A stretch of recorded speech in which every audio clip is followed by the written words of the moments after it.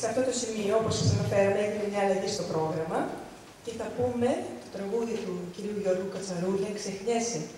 Είναι το τελευταίο τραγούδι ε, σε στίχους του Πυθαγόρα και μετά από αυτό ο Πυθαγόρας ε, έφυγε.